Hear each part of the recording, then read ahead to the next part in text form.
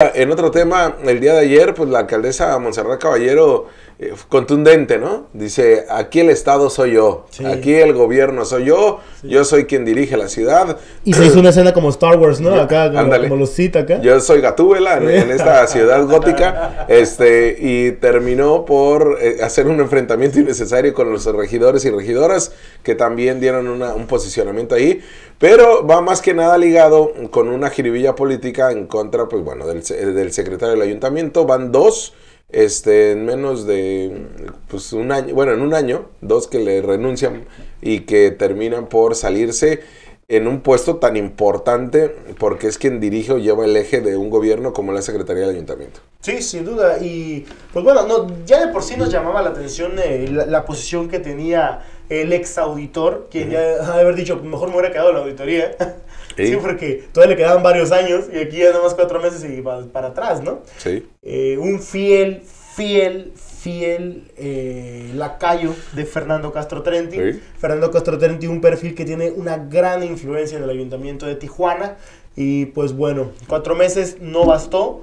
Lo hacen a, a- a un lado. Y ahora veremos a quién le queda, ¿no? ¿Quién le queda realmente en esa posición? No sabemos si pudieran hacer un enroque al interior de su, de su propia administración. Imagínate a Miguel Ángel Buján de secretario del ayuntamiento. Es el que sigue. Sí, podría ser, podría ser, pero eh, al final, Jorge, eh, pues es otro cambio.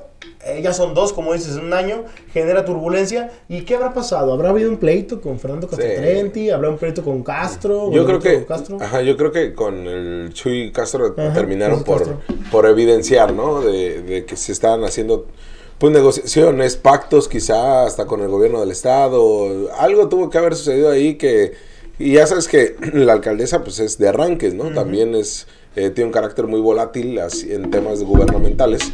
Y pues terminó por pedir la renuncia, renunció y ahorita no hay secretario del ayuntamiento, pero no solamente eso, sino que regidores y regidoras del ayuntamiento de Tijuana pues también le reclaman a la alcaldesa que pues ella está haciendo su propio gobierno, ¿no? Sin tomarlos en cuenta en absolutamente nada, en sus desarrollos de los programas, su presencia en las comunidades, realmente y además en el llamado a las sesiones de cabildo, pues también no son tomados en cuenta las demás fuerzas políticas, incluso muchos de regidores de Morena.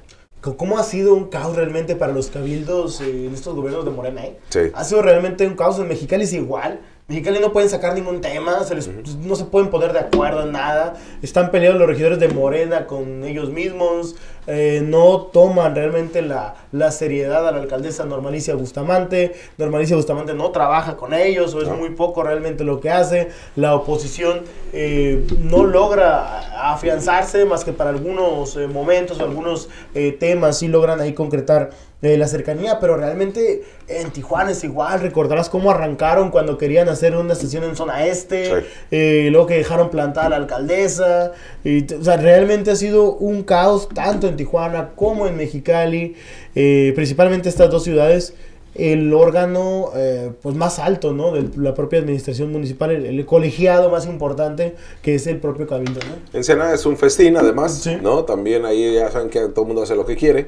Este, Montessori, es el Cabildo Montessori El, cabi- el Cabildo Montessori, pero además, pues es todo todo mundo entre que se siente ayalista. Yo no sé en, en- en quién quisiera ser ayalista o por qué te, te denominas ayalista, pero eh, también los que... Es por el plan de Ayala. Eh, ah, el, el el propio alcalde Armando Ayala, cómo este, puede hacer violencia eh, política en razón de género y eh, en una misma sesión de cabildo y no pasa nada. Y los panistas se quedan también callados. Sí, ¿eh? entonces- Porque no han dado mucho seguimiento a este tema. No, a excepción de la propia regidora, Brenda Sí. Valenzuela, que es la única que, que sale avante, que cuestiona, que, le- que levanta la voz.